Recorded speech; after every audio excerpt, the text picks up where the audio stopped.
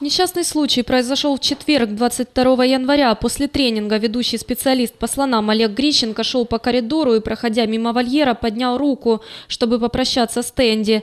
Однако слониха резко повернула голову и лбом прижала руку мужчины к ограждению. Олег получил серьезную травму руки. Из зоопарка с открытым переломом мужчину увезли в больницу скорой неотложной помощи. Он потерял много крови и получил болевой шок. По словам друзей Олега, врачи сделали несколько операций, но уже на следующий день руку пришлось ампутировать. Сейчас его состояние остается нестабильным, Олег до сих пор находится в реанимации. Олег, э, он в принципе в полном сознании.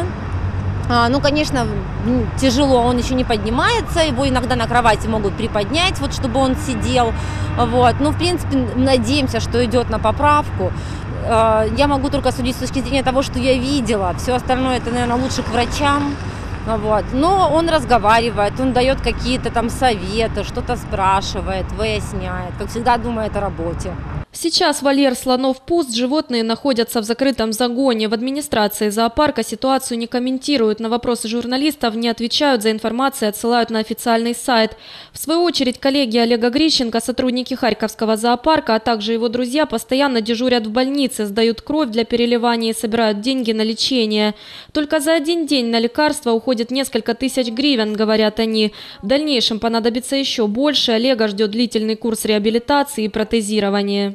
Ну, в день тысяч десять у нас в данный момент уходит. Когда 10, когда 15, когда 5, когда 6. Вот такие вот. И это будет каждый день пока. И сколько это будет длиться, неизвестно.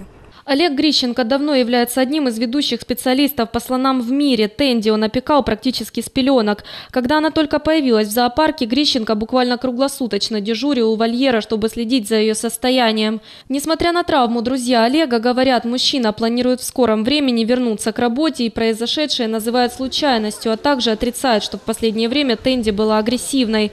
Уверяет, она даже жалобно пищала, когда поняла, что случилось. А как только пришел в себя после операции, сразу же позвонил в зоопарк, чтобы узнать, как поживают его подопечные. Однако, когда ведущий специалист зоопарка сможет снова приступить к работе, неизвестно. Сейчас, говорят близкие Олега, врачам даже сложно сказать точный срок его перевода из реанимации. Лариса Говина, Владимир Бурах, Андрей Домовой, агентство телевидения новости.